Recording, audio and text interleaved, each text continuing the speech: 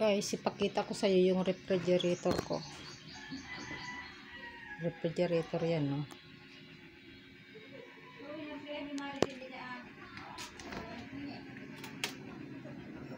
Kawawa naman.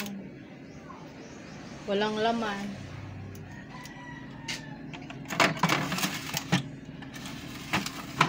Kalahating karne. Apat na ice. Dito wala man lang kalaman-laman, no? Pati dito. Kawawa. Kanina bumili ako ng tinapay. Pagaling ko sa ano. Ayan, tinapay. Ayan, walang laman. Diyos ko po. Walang kalaman-laman yung refrigerator ko. Gin, hangin-hangin.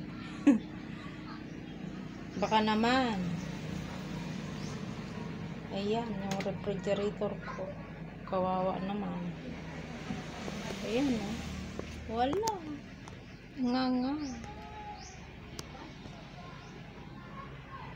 Baka naman may, may gusto magbigay.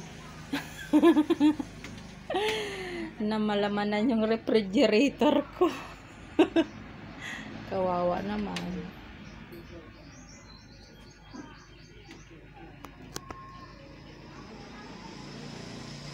Ayun, wala lang laman.